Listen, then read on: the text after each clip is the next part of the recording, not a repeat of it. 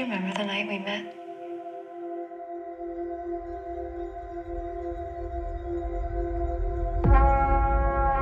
Ladies and gentlemen of the jury, you have been witness to the unspeakable horrors of the defendant's heinous crimes.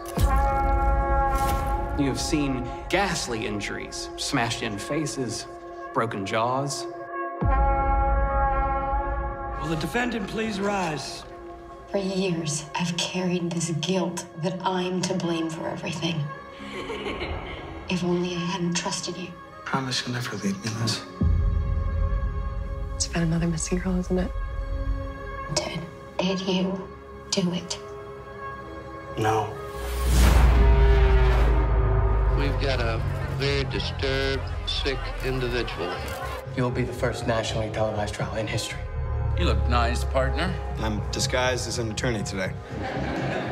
I get very scared, but, you know, he's also really dreamy. There are things you don't know that will shock you beyond your worst nightmares. It's all a lie. It is a capital murder case, and you are skating on thin ice. This is about catching a monster. Take it all back. What about me? I love you. Get out! The killings were extremely wicked, shockingly evil, vile. Did you do these things, Ted? This is all gonna end. It's only gonna end with the truth.